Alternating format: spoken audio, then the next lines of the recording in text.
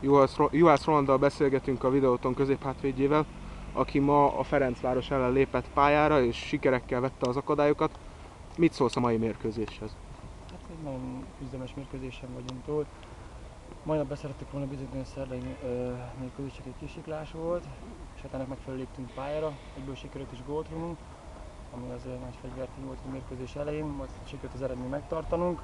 A végén akár növelhettük volna is, de azt mondom, hogy a mai nap folyamán megérdemelt a sikerünk. José Gomez, a csapat vezetőedzője elmondta a sajtótájékoztatón, hogy a mai mérkőzésen sokkal védekezőbb volt a, a felállás. Neked eb- ebben miben volt több szereped? Hát ezt inkább szerintem a középpályára értette. Ugye a múltkori mérkőzésen védekező középpályás játszottunk, majd nap kettőben.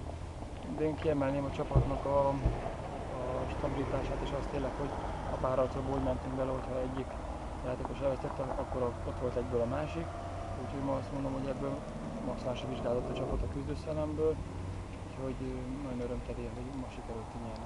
Minden, szurkoló, minden magyar szurkolónál fontos kérdés, hogy mi a helyzet most a válogatottal. Mert Egervári Sándor itt volt a helyszínen a mérkőzésen. Látsz-e még esélyt, hogy válogatott lehess? Hát abszolút a 29 évesek, hogy ne látnék esélyt arra. Szeretném bebizonyítani, hogy helyen van a válogatottban.